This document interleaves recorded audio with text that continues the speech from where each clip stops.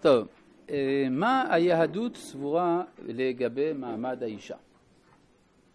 אה, יש ברכה שמברך אה, כל איש מישראל בבוקר, שלא עשני אישה. יחד עם הברכה שלא עשני גוי ושלא עשני עבד. גוי, עבד ואישה, שלושה מעמדות שאנחנו מברכים על זה שלא עשנו כמוהם. כן? הגוי מראה שאין אה, אחווה, העבד מראה שאין חירות, והאישה שאין שוויון. כן? שלושת היסודות של המהפכה הצרפתית, חירות, שוויון ואחווה, אה, בעצם נשללים על ידי שלושת הברכות האלה. מלבד זאת, האישה פסולה לעדות. לעדות. אם אה, מישהו דפק לשני את האוטו, העדים, נשים, לא מתקבלות. אמרו רבותינו, נשים דעתן קלה. אה? גם אמרו, נבראת האישה, נברא שטן עמה. וכן אמרו שכל המלמד את ביתו תורה, כאילו מלמדה תפלות. וכן אמר. מה אתה אומר? ילך אדם אחרי אריה ולא אחרי אישה. וגם אמרו שאישה היא חומרית, כך כותב המהר"ל. בסדר? אם כן, הרבה דברים, אם כן, נאמרו ביהדות ביחס לנשים, הבאתי עכשיו חלק מן הרשימה, ויש אנשים שכל הדברים האלה מרגיזים אותם ולא הבנתי למה. עכשיו, יש אה, שיח אחר שאומר, היהדות רואה את האישה כעליונה מן האיש. היא יותר רוחנית, היא פטורה ממצוות שהזמן גרמה בגלל שהיא נעלה. אה, בכלל היא המלכה של הבית, כל כבודה בת מלך פנימה. ובזכות נשים צדקניות יצאו אבותינו ממצרים, ומצאנו ששרה עליונה מאברהם בנבואה, שבכלל נשים בנבואה הן יותר גדולות מגברים. יש אם כן אה, סתירה בין שני סוגי שיח שנמצאים ביהדות, ויש גם שיח פמיניסטי, שאומר בעצם אין שום הבדל בין האישה לבין האיש, אפילו מבחינה יהודית, כל ההלכות האלה שמבדילות בין גברים לנשים הן הלכות שנכתבו על ידי גברים, ולכן צריך אה, להבין שזה בהקשר מסוים נאמר, וצריך לבטל את כל ההלכות האלה. אבד עליהן הקלח, אישה צריכה שהיא תוכל לגרש ושהיא תוכל גם לקדש וכדומה. כן? יש בוודאי גם נטיות רפורמיות מאחורי הדברים האלה. כן, שאנחנו רואים פה תסבוכת רבה ביחס לכל הנושאים האלה. אה, הייתי רוצה גם להביא בהקשר הזה אה, אה, מאמר פרובוקטיבי של רבי אליהו הכהן מאזמיר.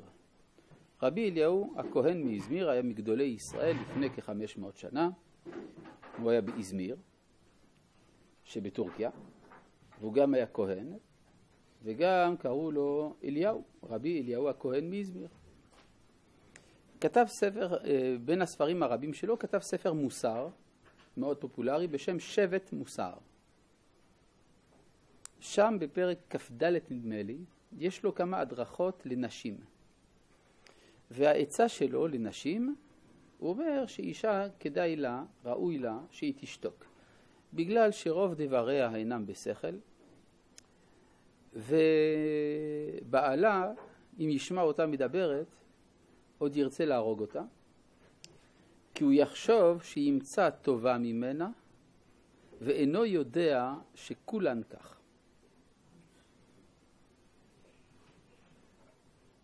כן? זה, מה? זה כותב רבי אליהו הכהן, מי הסביר? כן? אה, הייתי רוצה להבין את זה, כן?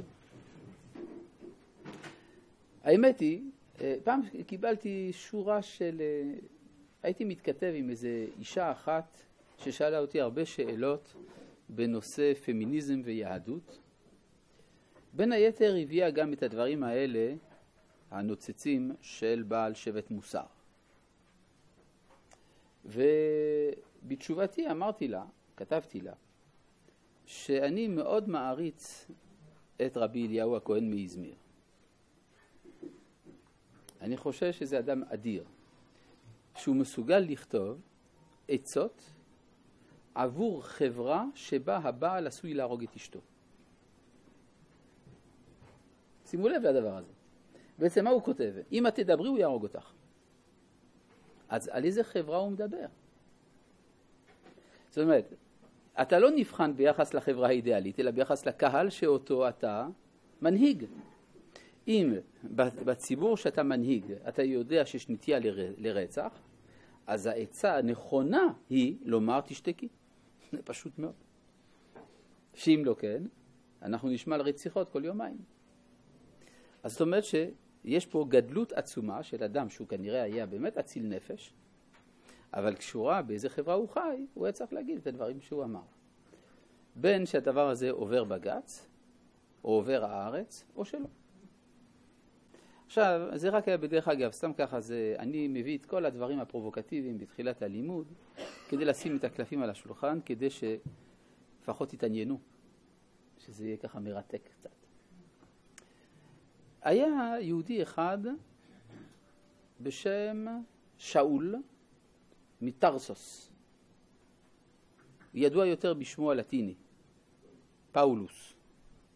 פאולוס, כן? הוא הממציא של הנצרות, הוא זה שבנה את כל התיאולוגיה הנוצרית, והוא אמר שהוא חושב שצריך להיות מצב שבו אין יותר יהוד, לא יהודי ולא יווני, לא איש ולא אישה. ככה הביטוי שלו. לא יהודי ולא יווני, לא איש ולא אישה. אמר על זה הרב יהודה ליאון אשכנזי, זכרונו לברכה, כל זמן שיש איש ואישה, יש עדיין יהודי ויווני. יש עדיין יהודי ויווני. הרב יהודה ליאון אשכנזי, זצ"ל, אמר שכל זמן שיש איש ואישה, הרי יש אישה ואיש, יש איש, איש ואישה, אם כן יש יהודי ויווני. כלומר, אחד הדברים שצריך להבין זה שיש בעולם לא מעמד עליון ומעמד תחתון או מעמדות שווים, יש זהויות שונות, יש שונות. היהדות בנויה בעיקרה קודם כל על הכרת השונות ולאחר מכן על האחדות. יש ביטוי בספר יצירה המיוחס לאברהם אבינו, הבן בחוכמה וחכם בבינה. אז מה צריך לעשות? להבין בחוכמה או להחכים בבינה? היינו הך? אז אם כך לא היה צריך להגיד גם זה וגם זה. אלא להבין פירושו להבדיל. כן, בינה זה מילה נקבית שהזכר שלה זה, מה הזכר של בינה? בין, להבדיל, נכון? בינה, היכולת של ההבחנה. בינה. חוכמה זה מה שמחבר דברים נפרדים. ההנחיה של ספר יצירה זה הבן בחוכמה. קודם כל תבדיל. תדע מה מבדיל ממה. אחר כך חכם בבינה תחבר. אבל ברגע שמחפשים קודם כל את המאחד, מה שיבצבץ בסופו של דבר זה המבדיל. אבל אם מתחילים מן המבדיל, יש סיכוי לאחד. אני זוכר לפני שנים, אחרי רצח רבין, אני הוזמנתי לשיחות בין אנשים ממחנות שונים, הרגישו שהחברה בסכנת התפלגות מוחלטת, ולכן צריך לחבר בין האנשים. והנה, אחד הרבנים, שאני מאוד אוהב, כלומר, באופן האישי, באופן האישי, הסביר שם, בפגישות האלה, שממילא כולנו אותו דבר. ורב המחבר בינינו על פני המפריד בינינו. והכל היה פוציניו מוציניו כמה שאנחנו אוהבים. וזה נורא הרגיז אותי. ואומר, אם תמשיכו ככה, התוצאה היא שאם כל הזמן תדברו על מה שמחבר בינינו, ותתעלמו ממה שמבדיל בינינו, מה שבסוף יבצבץ, מה שבסוף ינצח, זה המבדיל. אלא להפך, צריך קודם כל לדעת במה אנחנו נבדלים. אנחנו לא מסכימים באלף, בבית, בגימל, דלת, ה', ו', ז', ח', ט', י', כ', ל'.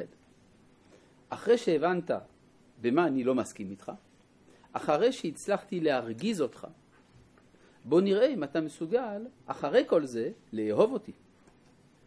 אבל לאהוב אותי מתוך התעלמות, זה לא חוכמה. היה שם איזה עיתונאי שמאוד התלהב מזה, הזמין אותי אחר כך לדבר ברדיו. הוא אמר, הרעיון הזה מוצא חן בעיניי. טוב, לא משנה.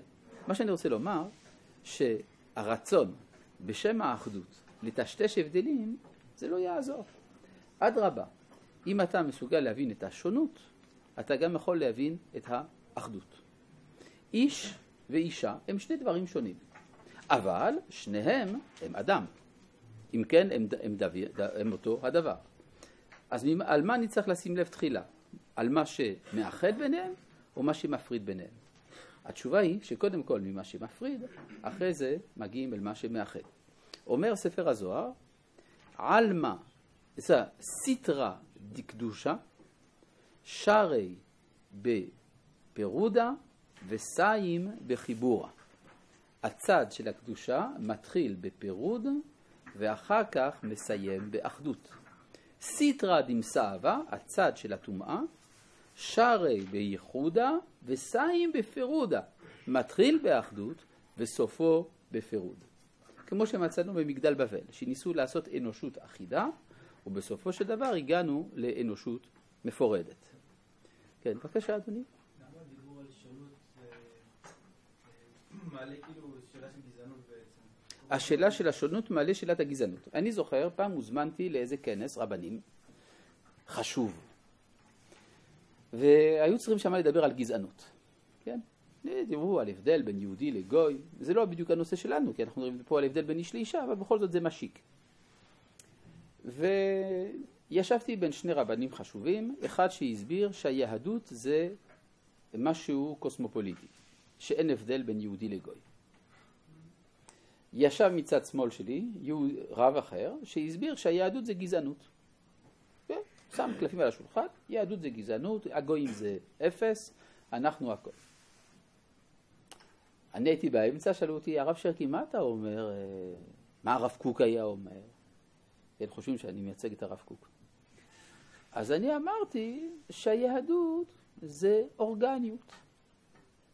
באורגניזמוס יש איברים שונים, וגם האיבר המרכזי וגם האיברים הפריפריים, ההיקפיים, הם מהווים חלק מחיות כוללת. זה כמו שתשאל, זה שיש הבחנה בין הלב לבין הציפורניים, האם זה אומר ש... האם זה גזענות כלפי הציפורניים, או האם זה הצ... אה, גאווה של הלב? התשובה היא, הלב קיים בשביל הציפורניים. מה יעשה הלב בלי האיברים? מה יעשו האיברים בלי הלב? אבל בסופו של דבר, אם אני אחשוב שהלב זה ציפורניים ושהציפורניים הם לב, אני עלול לגרום לנזק. לכן צריך קודם כל לדעת מה הן הפונקציות השונות. היית רוצה אדם שכולו מוח? זה אפילו מגעיל אותי, כן? אבל אדם שיש לו מוח וגם אף וגם אוזניים וגם עיניים ושאר איברי הגוף, דווקא זה מאוד מוצא חן בעיניי. אני חושב שזה מאוד יפה.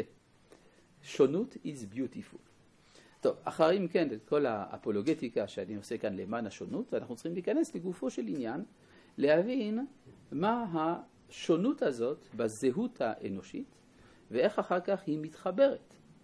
על זה הייתי רוצה לדון איתכם. אנחנו רואים בסיפור התורה דבר מאוד מעניין לגבי בריאת האישה, בריאת הזוג הראשון בעצם, כי הרי האדם הראשון נוצר לפי הסיפור של התורה אה, זכר ונקבה. אם כן, מה? פרק א' שונה מפרק ב', ושניהם שונים מפרק ה'. בפרק ה' לא, כתוב... לגבי האדם, בפרק ה', נאמר זכר ונקבה ברא אותם, ברא אותו, ויקרא את שמם אדם ביום היבראם. אם כן, בפרק ה' ישנה סינתזה של פרק א' ופרק ב', כפי שאתה אה, ציינת בצדק, ולכן תודה שהפנית אותי לפרק ה'. ושם בפרק ה' אנחנו רואים כן שהאדם נברא דו פרצופין, סוג של אנדרוגינוס. לפי המסורת של חז"ל, האדם הראשון, מדובר על האדם האידאי כמובן, לא האדם המציאותי, הוא עשוי משני צדדים, צד זכרי וצד נקבי, אלא אומרים חז"ל שהבעיה הייתה שהם היו אה, דבוקים זה לזה אה, בגב, כן? היה להם גב אחד, והם לא יכלו אם כן לראות אחד את השני. המצב הזה נחשב לאבסורד, איך כתוב בתורה? בפרק ב', פסוק י"ח, אתה מזכיר לי, כן? ויאמר השם אלוהים לא טוב. מה לא טוב? הכל, הכל לא טוב. כל העולם כולו הוא רע, היות והאדם לבדו. כיוון שהאדם הוא לבדו, הדבר הזה הוא באמת רע. מדוע, מה כל כך רע בלהיות לבדו? הרי הוא לא ממש לבד, הם זוג. כן, מה שלא טוב זה שהם לא יכולים לראות אחד את השני. מה רע בזה שהם לא יכולים לראות אחד את השני? זה אומר שהאדם איננו יכול להכיר את עצמו. האדם יכול להכיר את הכל חוץ מאת עצמו, וזה באמת בעיה, בשביל מה לי לדעת כל דבר אם את עצמי אני לא יכול להכיר. ולכן אפשר לומר, העולם הופך כולו, כל העולם כולו הופך להיות אבסורד. לכן נאמר, ויאמר השם אלוהים לא טוב. לא טוב, הכל לא טוב. למה הכל לא טוב? היות, מאחר והאדם לבדו, אז הכל רע. עכשיו שימו לב שהביטוי לא טוב הוא ביטוי קשה. כי אם הייתי אומר רע, כשאני אומר על משהו שהוא רע, זה לא אומר שאין בו טוב. הוא רע, אבל יש בו גם טוב. אבל אם אני אומר לא טוב, זה הרע המוחלט. לא טוב, אין שם שום טוב, אז זה הרע מוחלט. לא טוב היות האדם לבדו. אז מה צריך לעשות? לחתוך אותו לשניים. העשה לו עזר כנגדו. מי זה לא? למי? לזכר או לנקבה? לאדם, לאדם כמכלול, לאנושי כמכלול, צריך לעשות לו מצב חדש של עזר כנגדו. האחד יהיה עזר והשני יהיה נגדו, או הנגדו יהפוך לעזר והעזר לנגדו. כלומר, כאן נוצרה הדואליות בנפש האדם, הוא מחולק לשני חלקים. יפה מאוד. אז אם זה כך, שני חלקים זה שני חלקים שווים, נכון? איך קוראים לצדדים בעברית תנכית? צלע. כן? למשל, צלע המשכן ימה, צלע המשכן קדמה. צלע זה צד. יש משולש שווה צלעות. כן? צלע זה צד. אם כן, אם התורה מדברת על ויקח אחת מצלעותיו, משמע שכמה צלעות יש לו? שניים. יש צלע אחת, צלע שנייה. כן? צלע אחד נעשה איש, צלע שנית נעשית אישה. אבל שניהם זה צלעות. הוא צלע, היא צלע. צלע במובן של צד. נשאלת השאלה, איך עושים את ההפרדה הזאת? כי אם באמת חתכו אותו לשניים, אני הולך לפי הציור המקראי, כן? אם הוא נחתך באמצע, אז צריך להיות שני יצורים שווים.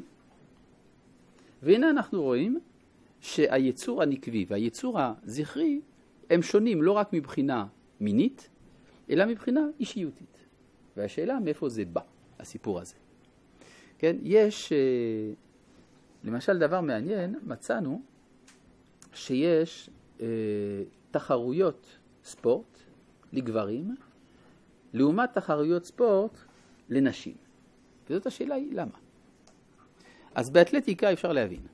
בגלל שמבנה הגוף הנשי הוא שונה ממבנה הגוף הזכרי, ולכן ההישגים של נשים בספורט מוכרחים להיות שונים מהישגי גברים בספורט.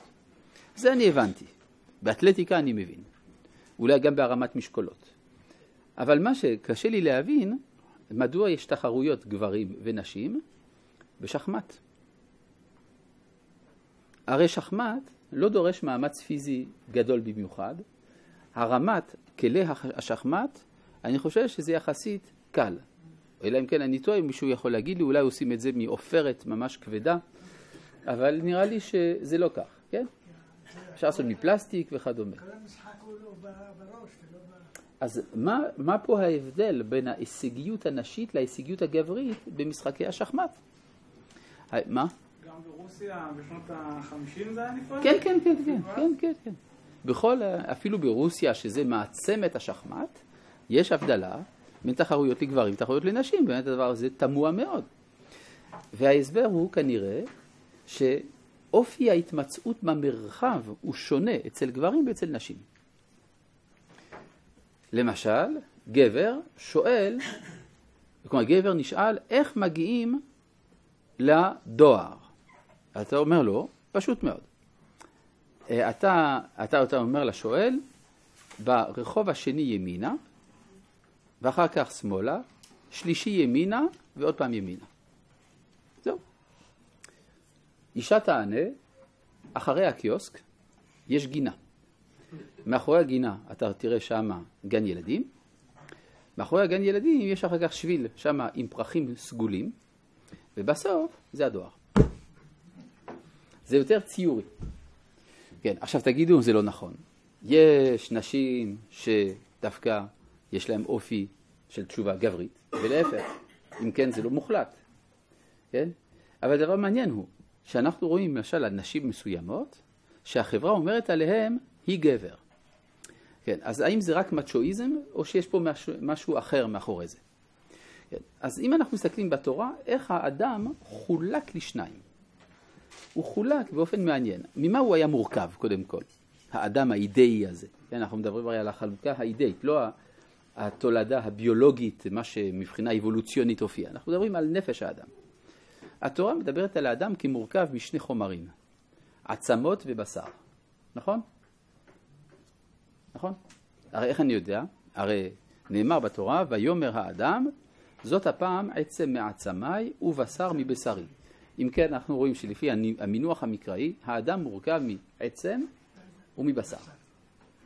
מה זה אומר? Uh, השאלה, ומי לקח מה?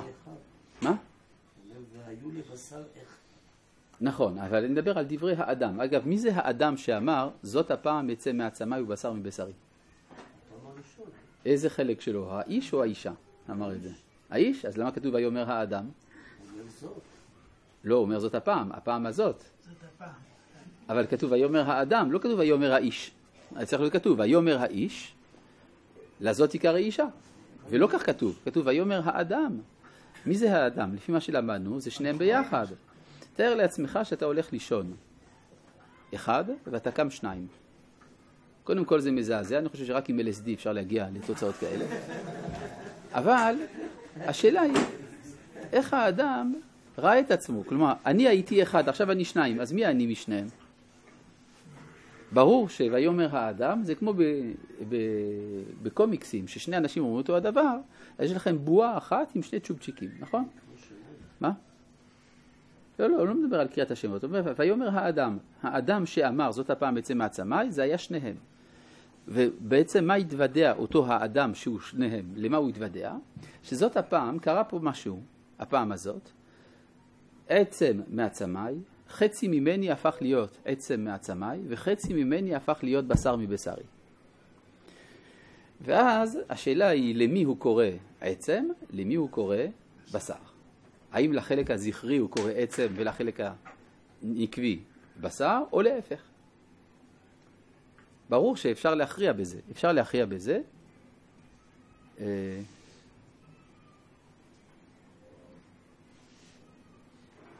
טוב, אני רוצה רק לקרוא את זה בקצרה. שלום לרב שרקי, כל המקורות היהודיים לגבי מעלת האישה ביהדות גלויים ונגישים לכל מאן דבעי. מדוע היהודים הדתיים, חרדיים, אשכנזיים בעיקר, מדירים את הנשים? האם מהתעלמות מהמקורות או שמא מקיצוניות עלומה? תודה. טוב, אנחנו עכשיו עוסקים ברמה גבוהה של הדיון, אחר כך אולי נגיע גם לרזולוציה הזאת. אה, ובכן, אה, אני שוב חוזר לבשר ולעצם. הרי כתוב שויקח אחת מצלעותיו ויסגור בשר תחתנה. כלומר, כפיצוי על לקיחת הצלע שעתידה להפוך לאישה, כפיצוי הוא שם בשר. מה זה אומר? שמה שהוא לקח היה בשר. אם אני גונב ממך בשר, מה אני צריך לתת לך עצמות?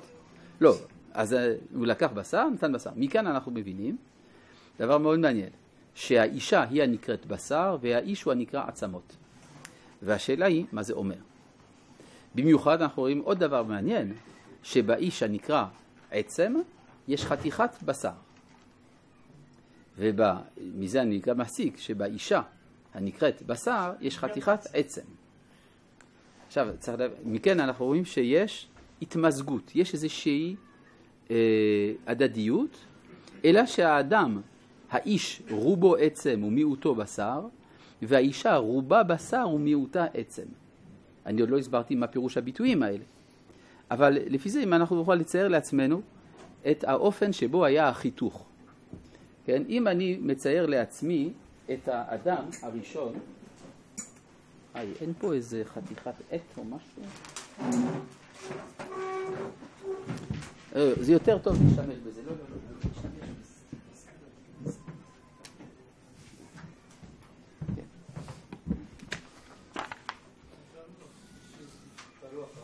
אני יודע. נא להכיר, זה האדם הראשון לפני החיתוך. כן? ציור יפה, אסתטי, אם כי לא מדויק. מה? לא רואים? לא רואים באינטרנט? הנה, זה עיגול, ובאמצע יש קו מקווקו, זה האדם הראשון. למה הקו המקווקו? הוא מחלק בין החלק הנקרא בשר לחלק הנקרא עצם. בסדר? עכשיו, איך לחתוך? יש שלוש אפשרויות. אפשר לחתוך לפי הקו המקווקו, ואז יצא שהאחד עצם והשני בשר, ובשר, והם לא יבינו אחד את השני לעולם. לא תהיה זיקה ביניהם. יש אפשרות שנייה, והיא לחתוך לרוחב.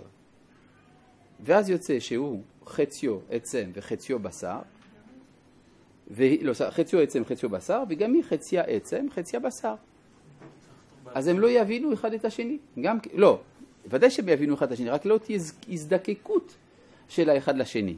כי כל אחד בעצם כל כך דומה לשני שהוא לא צריך את השני. ואז אנחנו נמצאים באין כניסה, כן? מחצית העיגול כאן, מחצית העיגול כאן, ואין כניסה. נכון? לעומת זה, כן, זה בתמרור. מה אתה אומר? אה, תודה שאתה אומר. אז אם כן, הפתרון הוא לחתוך באלכסון, ואז יוצא שהוא רובו עצם ומיעוטו בשר, והיא רובה בשר ומיעוטה עצם.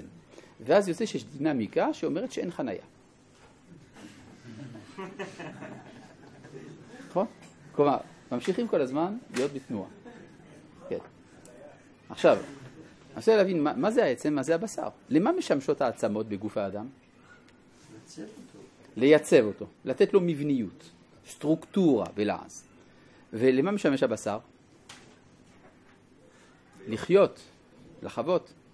הרי רק עצם אין חיים, רק עצמות אין צורה, כן? כלומר, אומרים שהאדמה שלנו מסתובבת כבר מיליון שנה. איפה הציר שלי? להסתובב זה דבר נורא. זאת אומרת שהאישה בדרך כלל מחפשת אצל האיש את הביטחון, את הצורתיות, דהיינו העצמות, והוא מחפש את החווייתיות. במילים אחרות, הוא לומד דרכה על האישה שבו, והיא לומדת דרכו על האיש שבה. אם כן, מצד אחד אנחנו רואים שונות, מצד שני השתוות. בשניהם יש עצם, יש גם בשר, אבל בפרופורציות שונות, וזה גם מסביר מדוע לפעמים יש גם שינוי, יש לפעמים חריגים. גברים בעלי חווייתיות יתרה, ונשים בעלי, בעלות מבניות יתרה. גם זה קיים. אם כן, לפי זה אפשר להבין שיש כאן אינטראקציה מאוד מעניינת. לפי זה גם מובן מדוע יש הבדל בין התפיסות האינטלקטואליות. אני אסביר למה הכוונה. חז... חז"ל אמרו דבר מאוד מעניין, נשים דעתן קלה. אז מה כבד אצלם? הבינה שלהם כבדה. אומרים חז"ל על הפסוק וייבן את הצלע אשר לקח מן האדם לאישה, בינה יתרה נתן באישה. אז אם כן, בינתם של גברים קלה, נכון? יוצא שהאישה קלה בדעת וכבדה בבינה, והאיש כבד בדעת וקל בבינה. אז אמרו חז"ל, אם אין דעת, אין בינה, אם אין בינה, אין דעת. מסקנה, מה צריך לעשות? להתחתן. יכולים להתחתן, כי צריך לחבר דעת עם בינה. דעת יכולת העמידה, ההפנמה, היציבות, לעומת הבינה, די מה שנקרא האינטואיציה הנשית המפורסמת, ועל ידי זה יש, אה, יש ערך לחתונה, כן?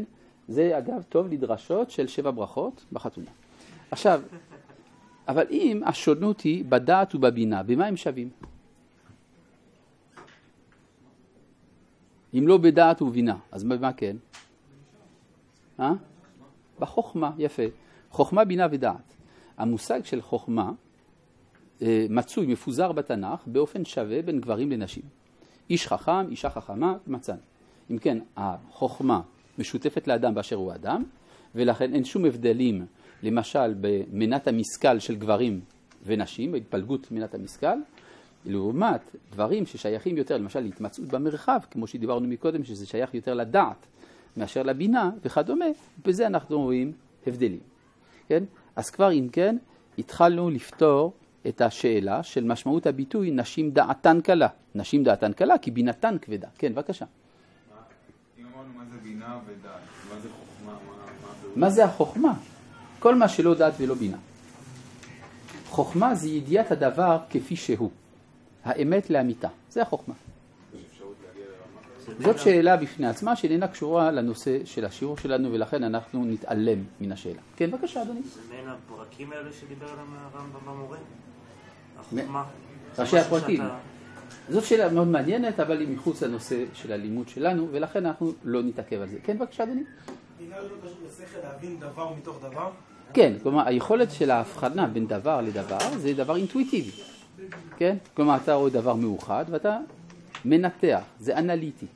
כן, זה מיוחד לנשים. עכשיו, לפי תורת הקבלה, מדרגת הנבואה מקורה בספירת הבינה. לכן אתם מבינים מדוע נביאות הן גדולות יותר מנביאים. כתוב, כל אשר תאמר לך שרה שמע בקולה, אומרים חז"ל, שמע לכל רוח הקודש שבה, ששרה, שאברהם טפל לשרה בנביאות.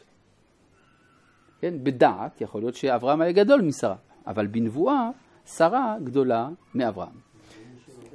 כלומר, אתם רואים פה אה, שונות. כן, מה אתה אומר?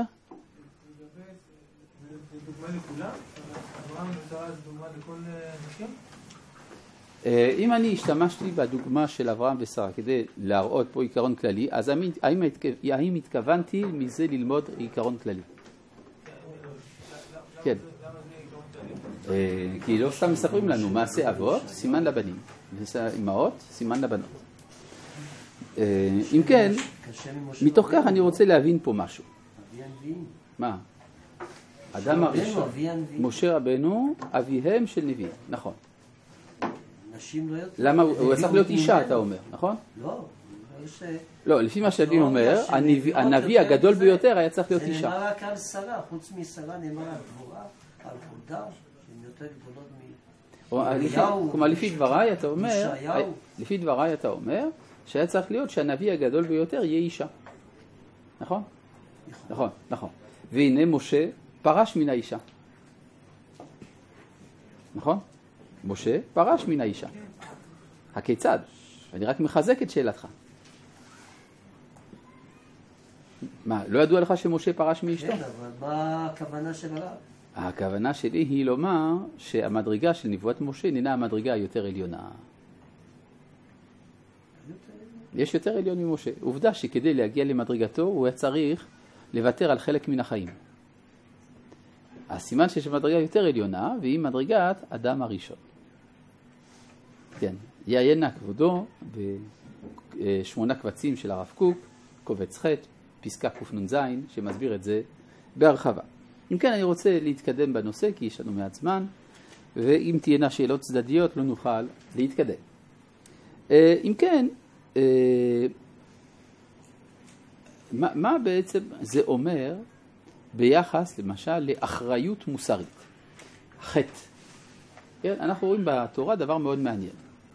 בסיפור של החטא הראשון, אנחנו רואים שהאיש מואשם בחטא, והאישה בגרימת חטא.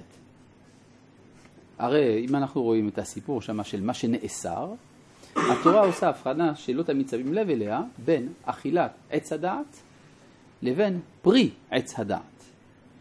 ואם תראו בתוך הסיפור, בלי להיכנס עכשיו לכל הפרטים של הפסוקים, אתם יכולים לעשות את זה בזמנכם החופשי, אתם תראו שהחטא היה לאכול מן העץ, ולא היה חטא באכילת הפרי. ואם תראו, מפורש, ותיקח מפריו ותאכל, אם כן היא לא חטאה. ותיתן גם לאישה עמה ויאכל, ושם רואים שהוא אכל מן העץ. אם כן, הוא חטא בפועל והיא חטאה בגרמה. התוצאה היא שהוא גורש, מלבד הקללות שכל אחד קיבל, יש הקללה שלו, הקללה שלה, הקללה של הנחש. אנחנו רואים שמלבד הקללה יש גם גירוש. ונאמר, ויגרש את האדם, אה, וישלחהו מגן עדן לעבוד את האדמה אשר לוקח משם. עבודת האדמה קשורה לקללה של, של האיש, נכון? ויגרש את האדם וישלחו מגן עדן לעבוד את האדמה אשר לוקח משם. אם אנחנו רוצים להיות עקביים, היה צריך להיות כתוב לעבוד את האדמה וללדת ילדים, כי הרי הקללה שלה זה הקושי של הלידה, וזה לא כתוב. המסקנה המתבקשת היא שהוא גורש והיא לא. מדוע הוא גורש? הוא גורש כי הוא חטא, אבל היא לא גורשה. אבל אם זה נכון מה שאני אומר, איך זה שבעולם שלנו יש נשים? נשים היו צריכות להישאר תקועות בגן עדן. אז למה הנשים הגיעו לכאן? כי הגברים פה. כלומר, היא חטאה בגרמה, לכן היא הגיעה לפה גם בגרמה. הוא חטא בפועל, לכן היא הגיעה לפה גם בפועל. המסקנה המתבקשת היא שבנוסף לשונות שיש באופן טבעי בין גברים לנשים, יש גם שונות נוספת בתחום המוסרי. האישה נשארה בגן עדן והאיש נמצא בעולם הזה. ולכן יש נטייה רוחנית יתרה בזהות הנשית לעומת הנטייה הפרגמטית הגברית. זה מסביר דבר מאוד מעניין שבמהלך ההיסטוריה ההנהגה הפוליטית אה, עברה ברוב הזמן, לא תמיד, אבל רוב הזמן, לידי גברים ולא לידי נשים. אנחנו רואים שלפי המחקר, החברה הקדומה, הפרה-היסטורית, הייתה ברובה מטריארכלית, נוהלה, נוהלה על ידי נשים, ומאז שהחל העידן ההיסטורי, מה שנקרא אצל, ה, מה שמסומן אצל במחקר כהמצאת הכתב, אז פתאום אנחנו רואים שההנהגה עוברת לידי הגברים. חוץ מיוצאים מן הכלל. כן? שלפעמים אישה מנהלת העניינים, אבל בדרך כלל גברים. השאלה אם אפשר להאשים בזה את הגברים במזימה, מזימה של, אה, של שתלטנות, או שמא, מאחר ומדובר בתופעה כוללת, אולי יש לזה גם משמעות. המשמעות היא שכנראה בתוך העולם ההיסטורי הגבר מרגיש בבית והאישה לא. וזה מסביר דבר מאוד מעניין. דבר מאוד מעניין, יוצא לפי זה שלהיות איש בעולם הזה זה בסדר. להיות אישה בעולם הזה, זה סבל. אנחנו רואים שמבחינה אקזיסטנציאלית, מבחינה קיומית, יש, אה, תסכול, התסכול הקיומי גדול יותר אצל נשים מאשר אצל גברים. לכן אם תראו מי כותב רומנים על בדידות, בדרך כלל נשים יותר מאשר גברים. לא שלא קרה שגברים כתבו, כן, אה, גרסיה מרקס, מאה שנות בדידות, יש גם. אבל זה באמת שאלה, האם הבדידות, כן, בדד אלך, גם תפילה אין לי, השאלה האם זאת חוויה מצויה יותר אצל גברים מאשר אצל נשים, התלמוד אומר דבר מעניין, שיותר משאיש רוצה לישא, כלומר להתחתן, רוצה אישה להינשא. כן, תב למיטב תנדו בלמיתה עבר מלו, טוב לשבת שניים מאשר לבד. והגמרא אומרת שזאת חוויה נשית יותר מהחוויה הגברית. עכשיו אפשר, לפי מה שאנחנו אומרים, עכשיו זה דברים די מובנים. יש הרי שני עולמות, עולם הזה ועולם הבא. כל הכבוד, יש לכם ידע כללי. עולם הזה, עולם הבא. איזה משני העולמות הוא שלם? העולם הבא. והעולם הזה מהו? משתלם. עכשיו, אה, מבין האיש והאישה, האיש באשר הוא איש, לא מדבר בתור אדם, אבל האיש באשר הוא איש, הוא שלם או משתלם? הוא משתלם, הוא צריך לתקן. האישה, בתור אישה, לא מצד היותה אדם, היא שלמה או משתלמת? שלמה. אז בנוף של העולם הזה, מי מרגיש יותר טוב? האיש. ולכן האיש מברך כל בוקר בעולם הזה שלא עשני אישה. ברור? כלומר, ולכן זה מסביר מה שאמרו חלק מן הפוסקים שכתבו שהברכת ש, אה, שעשני כרצונו, שאומרת האישה, היא ביטוי של השלמה, של הצדקת הדין. היא מצדיקה עליה את הדין. ודאי שהיא מצדיקה עליה את הדין. להיות אישה בעולם הזה, זה ממש לא נחמד. בעולם הבא זה מתהפך. נחכה לכם הגברים. שמה, תראו, השלם, השלמה, מרגישה הרבה יותר טוב. ולכן היא פטורה ממצוות עשה שהזמן גרמה, כי היא שייכת אל הנצח. לכן מי ששייך אל הנצח, יש לו תסכול כשהוא בעולם משתלם, ולהפך. ומתוך כך גם מובנים כל הביטויים של, של אה, כל כבודה בת מלך פנימה וכדומה. ברור. עכשיו, לפי זה כמובן, מבחינה היסטורית, מתי התפקיד של הנשים מתחיל לבלוט. אנחנו רואים שכל פעם שמדובר בסיום מהלך היסטורי, בסופי תרבות, או בהתחלת עולם חדש, יש בצבוץ של דמויות נשיות. לפעמים לטובה, לפעמים לרעה. למשל, התורה מספרת לנו בספר בראשית דבר מאוד מעניין, ויהי כאשר החל האדם לרוב על פני האדמה, ובנות יולדו להם. מה זאת אומרת? כשהתרבו בני אדם, אז פתאום נולדו בנות? ואיך התרבו בני אדם לפני זה? מה, לא היו בנות? הרי כדי להתרבות צריך איש ואישה. אז מה, מה החידוש? ויהי כאשר החל האדם לרוב על פני האדמה, ובנות יולדו להם. משהו לא מובן כאן. והאמת היא שמאוד פשוט. מה זה לרוב? להתרבות, נכון? מזכיר לכם איזושהי ברכה שהקדוש ברוך הוא נתן לאדם בראשית יצירתו? ויברך אותם אלוהים לאמור, פרו ורבו. זאת אומרת צריך גם לפרוט וגם לרבות. מה זה לרבות? זה כמותי, נכון? הרבה הרבה, זה כמותי. מה זה לפרוט? זה, זה איכותי. כמו שהפרי הוא שינוי של העץ, נכון? זה לא סתם התפשטות של עוד ענף, זה יצירה חדשה. אגס למשל, תפוז. כן, כן, לפרוט וגם לרבות. אבל יש חברה ששכחה את היסוד האיכותי, ואז היא מחפשת את היסוד הכמותי בלבד. ויהי כאשר החל האדם לרוב, לרוב ולא לפרוט. אז פתאום, ובנות יולדו להם. מה זאת אומרת בנות יולדו להם? פתאום שמו לב לזה שיש בנות. תמיד היו בנות, אבל זה הפך להיות מרכז ההכרה. כלומר, יש חברה שבה הדמות הנשית, החיצונית, הופכת להיות העיקר. הבלונדינית, הגבוהה, עם העיניים הכחולות. אז זו חברה שהידרדרה. הגיעה לידי סיומה, ויאמר אלוהים, לא ידון רוחי באדם לעולם וכולי.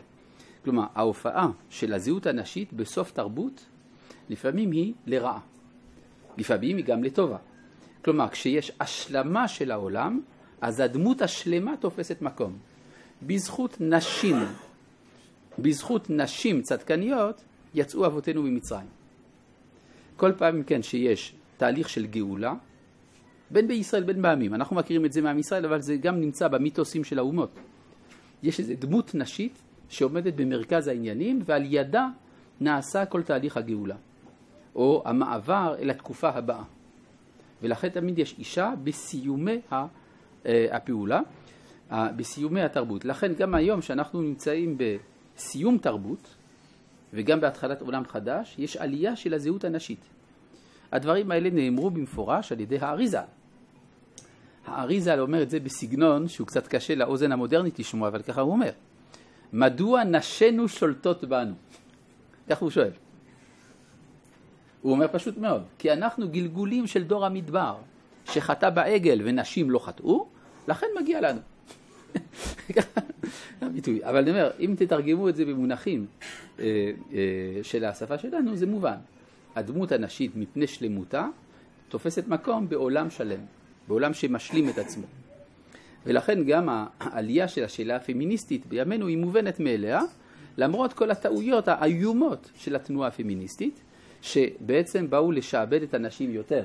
כפי שכתבה אחת מה, מ, מהלוחמות הגדולות של שנות ה-60 בזיכרונותיה, שהיא כתבה שבעצם מה שהיא עשתה על ידי המאבק הזה, היא הטילה על האישה תפקיד אה, פי שלוש יותר קשה מזה של הגבר. כי היא צריכה גם להיות יפה, וגם להיות קרייריסטית, וגם אה, לגדל את הילדים.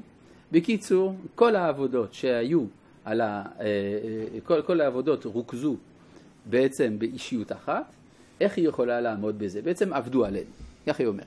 לא, לא בא לומר שאין צדק לפעמים בתביעות, למשל של השוואת השכר וכדומה, אבל מה שבעצם מניע קבוצת האינטרסים שהניעה את התנועה הפמיניסטית לא תמיד הייתה כשרה. יש הרבה פעמים ניצול בעצם ציני של חברה קפיטליסטית שמעוניינת בפיתוח יותר של אמצעי ייצור וכדומה. יש ניצול של תסכולים למטרות שאינן דווקא אה, חיוביות. אבל אפשר להבין שהנקודה הזאת עולה, למשל לכן מצאנו שאף על פי שאין אישה מולכת, מצאנו אישה שמלכה. שלום ציון המלכה, דווקא ברצון החכמים, מלכה. וכן דבורה הנביאה, שאף על פי שאין אישה כשרה לדון, בכל זאת היא כן דנה. ובכלל אנחנו רואים בהלכה, למעשה יש הבדל עצום בין העקרונות שהובאו במהפכה, ב, ב, נגיד, יש הבדל עצום בין הצהרת העקרונות לבין מימוש העקרונות. אם החברה המערבית מדברת על חירות, שוויון ואחווה, והיא כותבת את זה בראש מוסדותיה, אם תסתובבו למשל בצרפת, תראו שבכל מקום, כל מוסד ציבורי כתוב עליו חופש, שוויון ואחווה, חירות, שוויון ואחווה. אם צריך להכריז על כך, סימן שיש בעיה במציאות. אבל ההלכה הולכת בדיוק בכיוון ההפוך. היא אומרת אין חירות, אין שוויון, אין אחווה. יש גוי, עבד ואישה. הלכה למעשה, אדרבה, יהיה חירות, יהיה שוויון, תהיה אחווה. למשל, לפי ההלכה אסור להציל גוי בשבת. נכון? לפי ההלכה אסור להציל גוי בשבת. למעשה, ההלכה מה אומרת?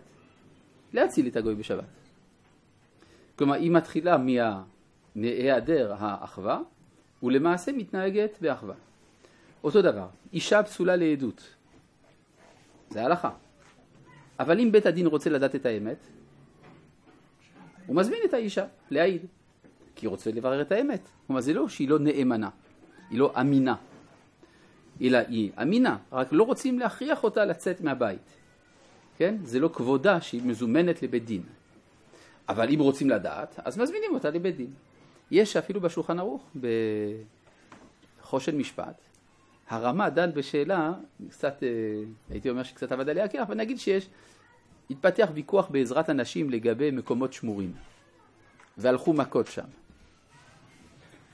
אז איך בית הדין עכשיו יפסוק בדבר הזה? מה יעשה עכשיו? אין שם גברים. מה עושים? מזמינים את הנשים. אז פסול העדות הוא לא פסול מהותי, כלומר, הוא פסול מהותי והוא לא פסול מעשי. אותו דבר לגבי אה, ה, ה, העבד, כן? העבדות מוכרת בתורה, אין חירות. אבל כשאתה תראה בעצם מה, זה, מה, מה בעצם הלכות עבדים אומרות, הלכות עבדים באות דווקא לשחרר את האדם מן השעבוד שלו, אבל זה נושא ללימוד בפני עצמו. כלומר, יש הבחנה בין, ה... יש להבחין בין המישור העקרוני, שבו דווקא ההבדלה היא זו שמובלטת, לבין המישור המעשי, שבו השוויון הוא זה שמובלט. לא מתוך כוונה לפצות על עוולות הלכתיות או דברים כאלה, זה שטויות. ברור שההלכה מדברת על האמת, האמת זה ההבדלה, והיא גם מכירה את החיים, ובחיים יש שוויון. ולכן כל הביטויים שנאמרו על נשים, צריך להבין אותם בה, על פי הרקע הזה. אני רק רוצה לציין דבר מעניין. אמרו חז"ל, אה, נבראת האישה, נברא שטן עימה, נכון? כך כתוב, נכון? בראשית רבה, על הפסוק ויסגור בשר תחתנה, שויסגור זה סמך, זה אות שטנית. למה סמך זה אות שטנית? היא סגורה. דבר סגור זה שטני. מעגל קסמים. זאת הסמך הראשונה במעשה בראשית, לכן נבראת האישה, נברא השטן עימה. הרי לא הבנתי. אם נברא השטן עימה, אז, אז היא לא השטן. כלומר, אם נברא השטן עימה, אם היה כתוב נבראת האישה נברא השטן, היית מבין שהשטן זה האישה. אבל אם אמרו נבראת האישה נברא השטן עימה, אז איפה השטן?